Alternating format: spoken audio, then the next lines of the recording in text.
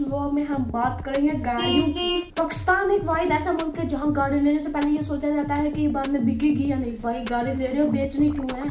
भाई, सबसे ज़्यादा गाड़ी की देखी जाती है एवरेज चाहे उसके अंदर कंफर्ट की कंफर्ट नाम की चीज़ ही ना हो। बस मेरा मानना ऐसा है कि गाड़ी जितनी भी एवरेज दे, लेकिन उसके अंदर कंफर्ट देखना चाहिए। लेकिन पाकिस्तानी अवाम कहती है जी, हमें पेट्रोल कम पेट्रोल पीने वाली गाड़ी चाहिए बताओ हम उसको हवा से चलने वाली गाड़ी ना दे दें। चाहे एक गाड़ी की एवरेज बीस या बाईस हो चाहे उस गाड़ी की सीट के नीचे कांटे लगे हों लेकिन वो ले लेगा। क्यों? क्योंकि उसे एवरेज चाहिए। एवरेज सही होगी। गाड़ी लेने से पहले वो देखते हैं कि एसी सही चलता है या नहीं। लोगों के सामने वो एसी चला लेंगे लेकिन बाद में वो बंद करके रखेंगे हीटर चला लेंगे। भाई साहब एवरेज अच्छी आएगी। भाई साहब उसके बाद बात करते हैं टायर्स की। जब बंदा न्यू न्यू गाड़ी लेता है तो अपनी डग्गी खोलता है तो उसके नीचे अंदर टायर लगा होता है।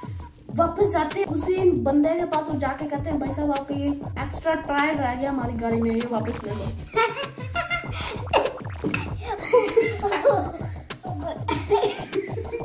गाड़ी लेने के बाद लोग ऐसी शौकियाँ मारते हैं और कहते हैं, हमने मर्सिडीज का न्यू मॉडल लिया जिसका नाम है एफ़ एक्स अब हम ऐसे लोगों की बात करते हैं जो गाड़ियों के पीछे लगवाने के बहुत शौकीन होते हैं। उन्होंने गाड़ी के पीछे लगवाया होता है बुरी नज़र वाले तरह मुँह खोला। मैं बाहर जा रहा था मैंने गाड़ी के पीछे क्या पड़ा कहता घूमने पे गए हैं मेरी चार सौ गाड़ी आई है।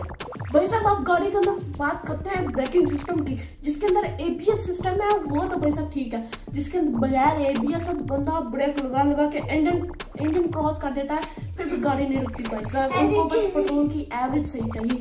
चलो मैंने माना कि एवरेज बहुत ज़्यादा मैटर करती है गाड़ी में, लेकिन इतनी भी नहीं कि अगर सीट के नीचे कांटे लगे हो तो वो ले लो भाई एवरेज अच्छी है। भाई साहब, मैंने तो ऐसे ऐसे लोग देखे हैं जो टायर को बदलाते ही नहीं है। तीन तीन, चार चार साल चला देते हैं, टायर नहीं बदलाते। भाई साहब, मैं उन्हें एक ही बात करना चाहूँगा। कौन है ये लोग? कहाँ से आते हैं? अब बात करते हैं भाई साहब गाड़ी चलाने वालों की। चलो ठीक है ऑटोमेटिक तो बहुत आसानी से चल जाएगी। जो बंदा मैनुअल गाड़ी पहली बार चलाएगा, वो तो भाई साहब ब्रेक क्लच दोनों साथ दबा देगा। अगर आपको ये वीडियो अच्छी लगी तो इस वीडियो को लाइक कर दे। चैनल पर तो चैनल को सब्सक्राइब कर दे। इसी तरह हमारी वीडियो देखने के लिए बेल आइकन को दबा दे। मिलती है अगले ऐसी वीडियो के साथ। तब तक के लिए बाय